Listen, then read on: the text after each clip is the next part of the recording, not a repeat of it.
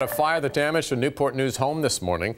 Investigators say it was started by a space heater that fell over. Here's a look at the damage. Investigators say when they got to the scene, they found smoke and flames coming from the second floor.